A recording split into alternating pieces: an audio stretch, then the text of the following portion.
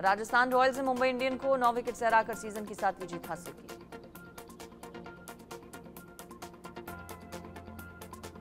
IPL का उनचालीसवां match, Chennai super Kings और लखनऊ सुपर जायंट्स के बीच चेन्नई के एम ए चिदम्बरम स्टेडियम में शाम साढ़े सात बजे से खेला जाएगा।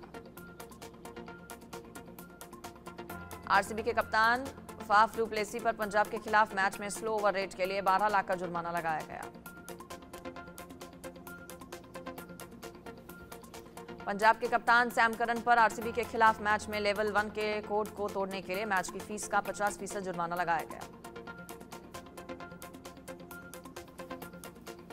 आरसीबी के बल्लेबाज विराट कोहली पर मैच में अंपायर से बहस करने पर मैच की फ़ीस का 50 फ़ीसद जुर्माना लगाया गया।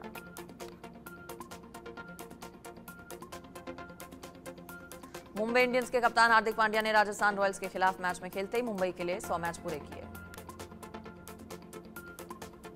भारतीय पूर्व खिलाड़ी सुनील गावस्कर ने कहा कि आईपीएल में लगातार 200 से ऊपर स्कोर, बनाना कोई अच्छा संकेत नहीं।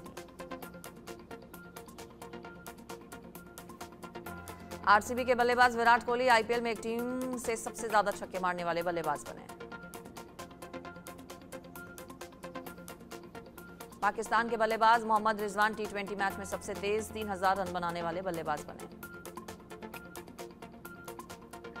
भारतीय चेस खिलाड़ी D. Gukesh FIDE world championship के फाइनल में पहुँचने वाले सबसे कम उम्र के खिलाड़ी बने।